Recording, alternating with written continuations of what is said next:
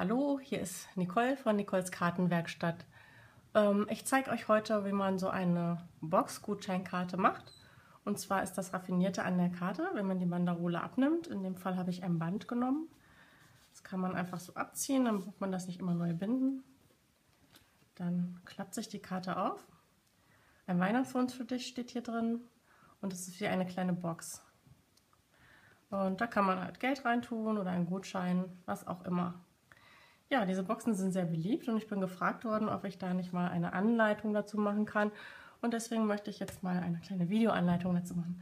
So, ähm, ihr bekommt von mir auch noch eine schriftliche Anleitung, in der die ganzen Maße stehen.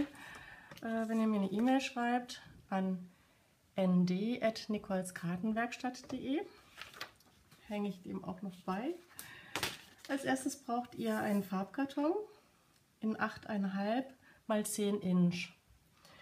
Ähm, ich habe jetzt ja hier so einen DIN A4 Farbkarton genommen. Ähm, wenn man das hier jetzt anlegt bei 8,5 ist es ein bisschen kürzer hier, es macht aber nichts. Also die Breite von einem DIN A4 Blatt und dann ne, auf 10 Inch kürzen. So, diesen falzt man dann an der langen Seite bei 2 Inch. So, jetzt ist das Schneidemesser ganz nach außen, bloß nicht schneiden. Bei 2 Inch, bei 3,5 Inch, bei 6,5 Inch. Das ist jetzt hier so ein bisschen unglücklich auf diesem abgeschnittenen und dann bei 8 Inch nochmal. Und dann auf der kurzen Seite, falls ihr das jeweils bei anderthalb Inch. So. Anderthalb Inch und dann einfach nochmal umdrehen, die andere Seite auch bei anderthalb Inch falzen. So. Nun habt ihr hier verschiedene Falzlinien, das sieht man wahrscheinlich sehr schlecht in dem Video. Ähm, ich falze jetzt alle mal nach, damit ihr die seht.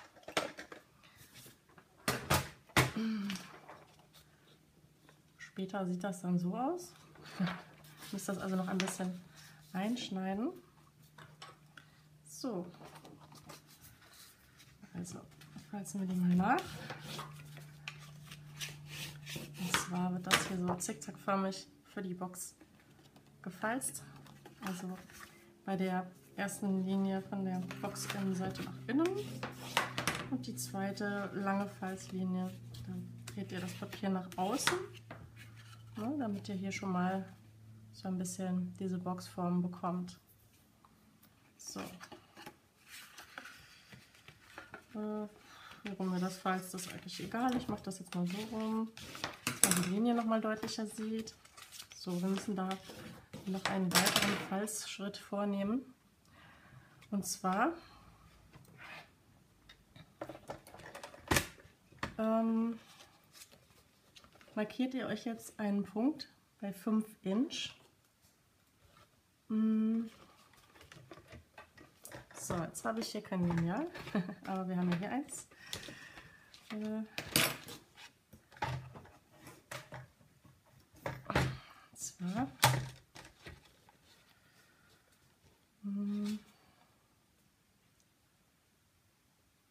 der Höhe von 5 Inch macht ihr hier eine kleine Markierung in die Mitte des Blattes.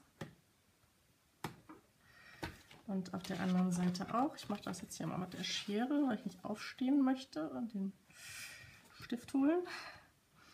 So, dass ihr das irgendwie eine kleine Markierung in der ungefähr in der Mitte des Blattes, also genau in der Mitte des Blattes, das ist ja 10 Inch lang. So, und von dieser kleinen Markierung ähm, zieht ihr jetzt eine Falzlinie einmal hier und einmal hier runter, dass es so ein kleines Dreieck gibt. Das ist dann später bei der Karte dieses Dreieck hier, wo sich das einklappt. Ja, könnt ihr euch vielleicht vorstellen. Nochmal als Grafik. Also hier zieht ihr jetzt zwei Falzlinien von der Mitte bis zur nächsten jedenfalls hier in der Ecke. So. könnt ihr auch mit dem äh, Falzbrett machen. Falz- Schneidebrett. Das ist ganz gut möglich dann. Müsst ihr halt gucken, dass die Markierung in der Linie liegt. Und hier auch dann. So. Einmal so. Ihr könnt das auch mit einem Lineal machen und äh, wenn ihr so ein kleines Handfalzgerät habt, könnt ihr das damit auch machen. So. so. Gucken. Jo. Und auf der anderen Seite, wie gesagt, auch. Ne? Ist ja eure Markierung nochmal suchen. So. Hätte etwas größer ausfallen dürfen für kurzsichtige. So, und dann ab dem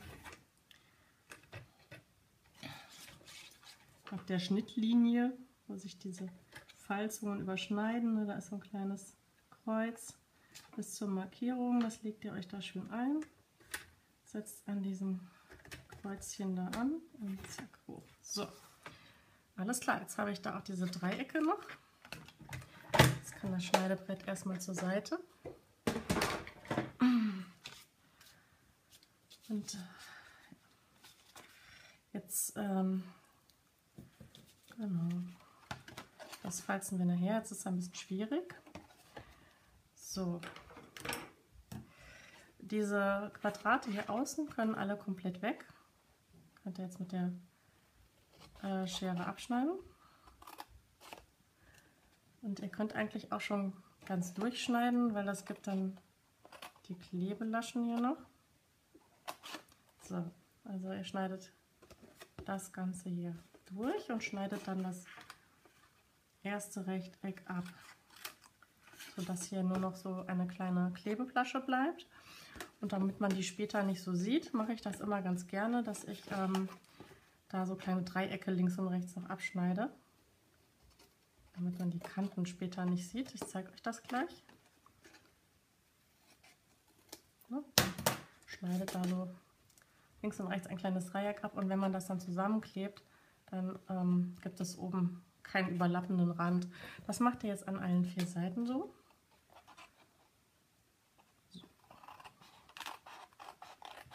Einmal hier reinschneiden, das Rechteck abschneiden, nochmal Dreiecke abschneiden.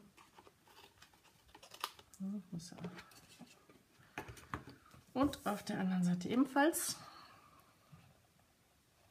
schön an der Falzlinie entlang einschneiden, großes Rechteck abschneiden. Mal hier das ein bisschen verschönern.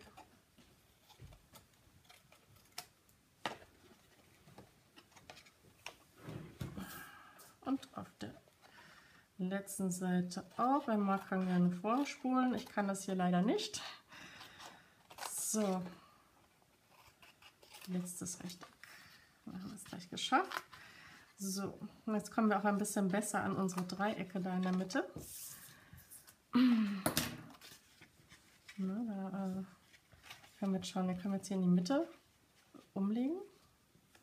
Das links und rechts nach oben. Habe ich das jetzt richtig rum? Ja. okay.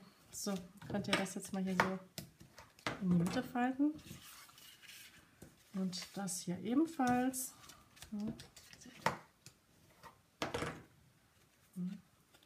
Und wenn ihr das dann hier alles zusammenklebt später, dann seht ihr schon, gibt das diesen Mechanismus. Also ganz einfach hier in die Mitte falten. So, Ich klebe diese Laschen immer ganz gerne in die Innenseite, damit das auch außen ganz hübsch aussieht. Und äh, dazu nehme ich Tombow. Man kann auch ähm, das doppelseitige Klebeband nehmen, aber wenn das erstmal klebt, dann klebt das, dann könnt ihr nichts mehr korrigieren. Und ich finde es äh, mit dem Tombow angenehmer, wenn solange der feucht ist, kann man noch ein bisschen hin und her ruckeln, wenn man sich da nicht äh, sich vertan hat. So, also ordentlich Kleber auf alle Laschen drauf. Nicht zu viel, sonst schwappt das über später beim Zusammenkleben. Der Tombo hält auch so ganz super, so dass man so an allen Kanten ist und dann ähm, klebt man das zusammen, damit die kleine Box entsteht. Ja. So.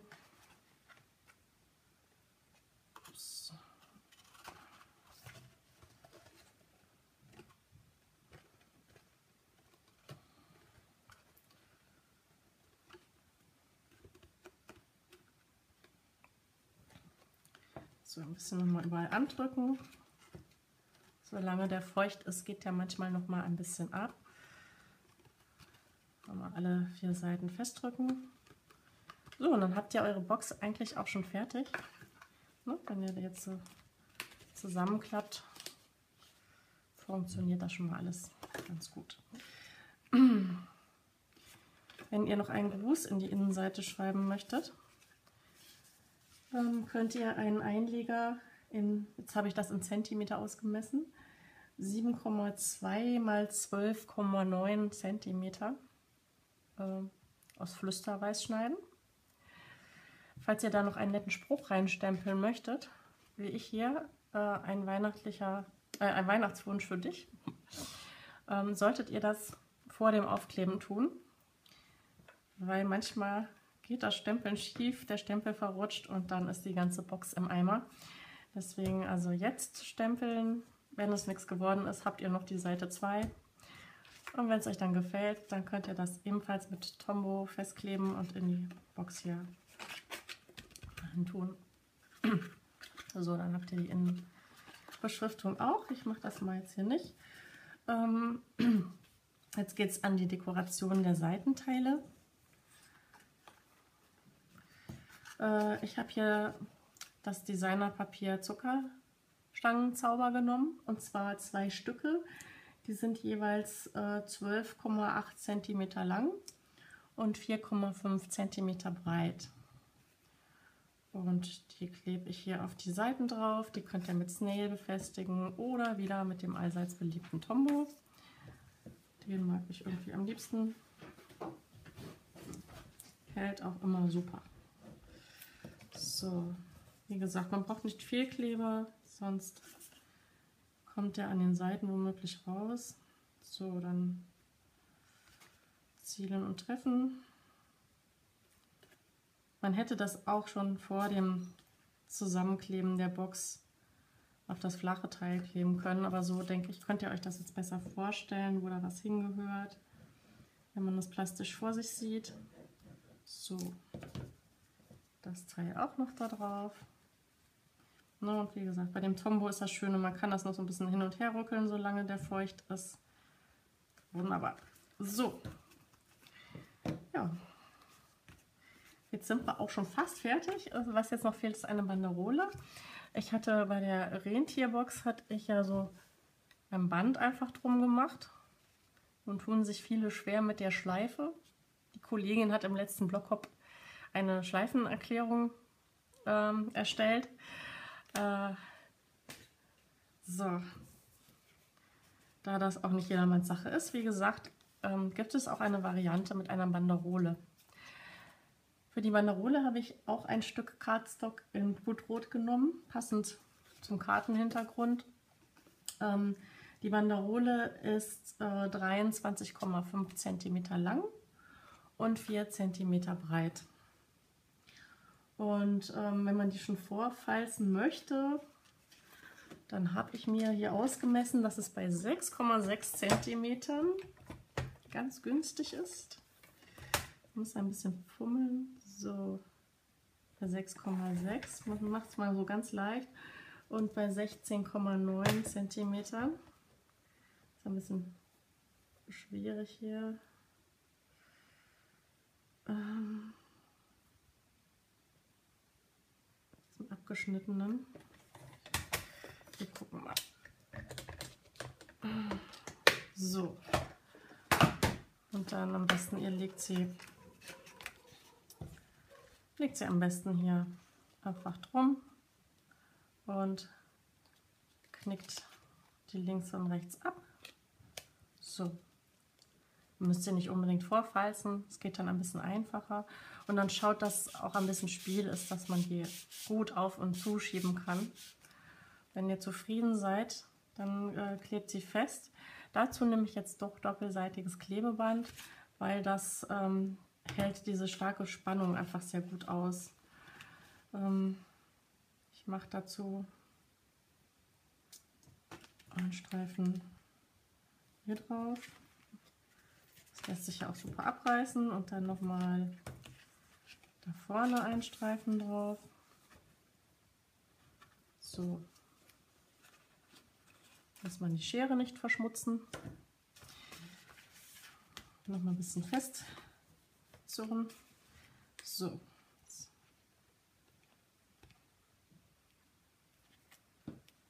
Zieht man das ab. Gesagt, also ein bisschen aufpassen, dass sie nicht zu straff ist, die Banderole.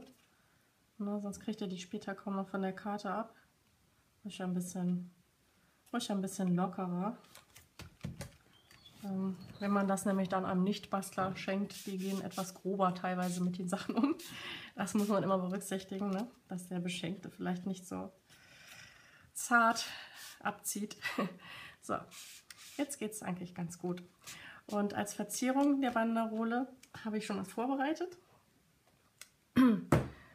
Und zwar habe ich das Gastgeberset genommen. Das heißt fröhlich aufgelegt. Und da habe ich diesen und diesen Stempel ausgesucht. Auf dem einen ist so ein schöner Spruch. Liebe Feiertagsgrüße zur schönsten Zeit des Jahres. Und von dem anderen fand ich die Mitte schön. Ähm, von dem Lustig Tralala, da habe ich nur das mittlere Teil genommen. Ich habe den großen Stempel hier mit Glutrot auf Flüsterweiß gestempelt und den anderen mit Espresso weil das die Farben sind, die hier enthalten sind. Ne? Als kleiner Tipp, wenn ihr Designerpapier nehmt, da steht ja immer auch äh, auf dem Block hinten, welche Farben in dem Papier enthalten sind und da könnt ihr euch auch danach richten, welches Cardstock dann dazu passt und welche Stempelfarben und da macht ihr nichts falsch damit. So. Und ähm, weil mir jetzt zu dem Muster mit den Lebkuchen ähm, dieser Zweig da in der Mitte nicht so gut gefallen hat, habe ich wie gesagt aus dem anderen noch was ausgeschnitten und habe da so einen kleinen Donut oder was das ist, einen kleinen Kringel äh, mir ausgestanzt. Und zwar habe ich da die äh, Framelits schlagenweise Kreise dafür benutzt, ne, damit das hier so einen hübschen äh, Rand bekommt. Habe ich hier einen Kreis mit dem geriffelten Rand genommen. Man muss einen relativ großen nehmen, man wundert sich, damit das Weiße auch noch schön zu sehen ist mit den kleinen Perlen. Und für das hier habe ich den kleinsten glatten Kreis zum Ausstanzen genommen. So, und das macht man ganz einfach mit einem Dimensional dann aufeinander fest. So, einfach in die Mitte. Und jetzt mal gucken, wie rum man das lesen kann, so dass dann das Schleifchen von dem Kringelchen oben ist. Wunderbar. So, und das macht man wiederum auch mit einem Dimensional fest. Da reicht auch einer in der Mitte viel mehr braucht man da eigentlich nicht. So. Und ähm, nun hatte ich auch noch zwei Lebkuchenmännchen ausgestanzt, bevor ich das draufklebe. So. Jetzt. Ich klebe es schon mal fest. Die Banderole an sich ist fertig. Und weil das ein bisschen netter mit Lebkuchenmännchen ist, äh, kann man auch noch welche dranhängen. Ich habe die in Savanne und Espresso gestempelt und dem einen noch eine kleine Schleife dran gemacht. Und ähm, damit man die da schön dranhängen kann, kann man die Handstanze mit dem kleinen Loch durch den Kopf schießen. Ist ein bisschen brutal. Achtung, Kinder weggeguckt. So, man macht ja ein kleines Loch in den Kopf und dann hat man einen wunderbaren Geschenkanhänger. Das macht man bei dem auch. Die, diese Stanze, die hält man übrigens ne, so rum. Also das hier nach unten und das Papier, das kommt dann hier dazwischen. Ne? falls ihr so eine Stanze habt. Ich habe mich schon öfter gewundert, wie man das richtig macht. Und man kann sie auch entleeren. Jetzt ist meine bestimmt voll. Ich habe da nicht geplant, das euch zu zeigen. Äh, und zwar kann man hier unten das nach unten drücken und dann kann man die Papierreste auskippen, wie beim Locher. Ist hier ein kleiner Handlocher. So, jetzt habe ich schön Sauerei auf meinem Basteltisch. So, zweites Loch noch in das Männchen hier. Ja, lasst ein bisschen Abstand so.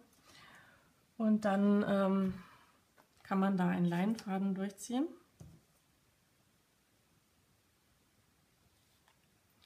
Und das Ganze jetzt hier noch anbringen. So, so. mal gucken, wie das schön hält. Ich habe das jetzt einfach hier um den Dimensional da so drumherum gemacht. Lasst ein bisschen Schnur, damit man die Kerlchen noch sehen kann. Hm? So. Genau.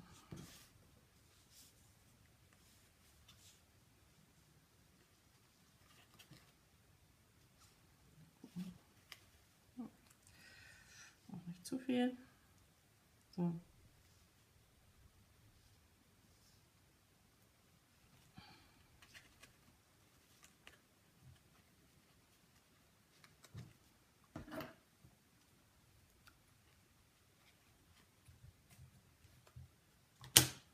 So, ne? Dann kann man die Banderole ein bisschen höher machen, wenn die Schnur zu lange geworden ist. Oder müssen sie noch mal ein bisschen kürzen. Und mit dem zweiten macht ihr das dann genauso. Und ähm, ja, dann habt ihr zwei lustige Anhänger noch an eurer Box. Alles klar. Und wie gesagt, ist eine schöne Verpackung für ein Geldgeschenk. Wenn man das dann aufmacht, zeige ich euch nochmal, weil es so schön ist. Ne?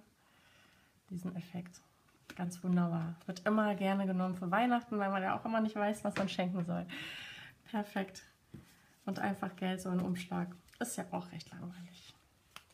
So, dann hoffe ich, dass ihr Spaß hattet und äh, wünsche euch viel Erfolg beim Nachbasteln. Wenn ihr Fragen habt, meldet euch gerne. Ja, das war Nicole von Nicoles Kartenwerkstatt und einen schönen zweiten Advent. Bis dann. Tschüss.